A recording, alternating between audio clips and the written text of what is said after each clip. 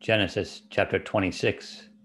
There was a famine in the land besides the first famine that was in the days of Abraham, and Isaac went to Abimelech, king of the Philistines, and Gerar. Then the Lord appeared to him and said, Do not go down to Egypt. Live in the land of which I shall tell you. Dwell in this land, and I will be with you and bless you. For to you and your descendants I give all these lands, and I will perform the oath which I swore to Abraham your father, and I will make your descendants multiply as the stars of heaven. I will give to your descendants all these lands, and in your seed all the nations of the earth shall be blessed, because Abraham obeyed my voice and kept my charge, my commandments, my statutes, and my laws. So Isaac dwelt in Gerar, and the men of the place asked about his wife, and he said, She is my sister, for he was afraid to say, She is my wife, because he thought, Lest the men of the place kill me for Rebekah, because she is beautiful to behold. Now it came to pass, when he had been there a long time, that Abimelech, king of the Philistines, looked through a window and saw, and there was Isaac, showing endearment to Rebekah his wife.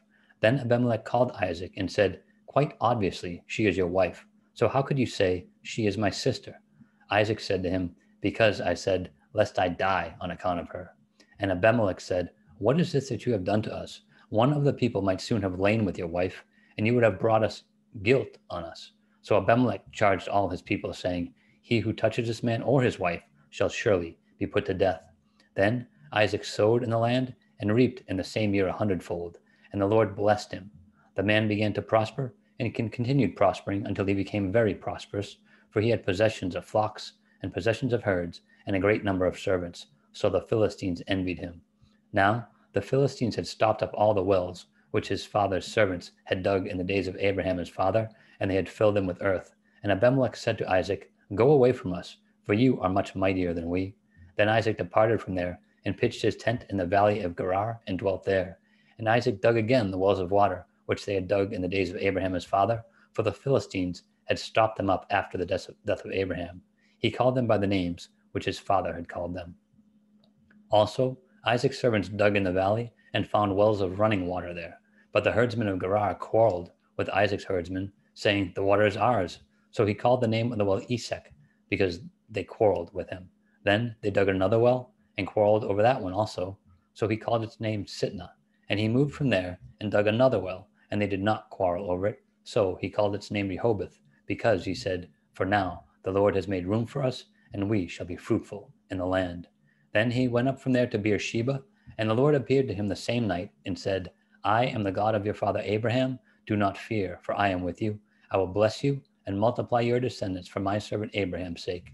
So he built an altar there and called on the name of the Lord, and he pitched his tent there, and there Isaac's servants dug a well. Then Abimelech came to him from Gerar with Ahuzzath, one of his friends, and Phicol, the commander of his army. And Isaac said to them, Why have you come to me, since you hate me and have sent me away from you? But they said, We have certainly seen that the Lord is with you. So we said, Let there now be an oath between us, between you and us, and let us make a covenant with you that you will do to us do to us no harm, since we have not touched you, and so we have done nothing to you but good, and have sent you away in peace. But you are now blessed of the Lord. So he made them a feast, and they ate and drank. Then they arose early in the morning and swore an oath with one another. And Isaac sent them away, and they departed from him in peace. It came to pass the same day that Isaac's servants came and told him about the well which they had dug, and said to him, We have found water. So he called it Sheba. Therefore, the name of the city is Beersheba to this day.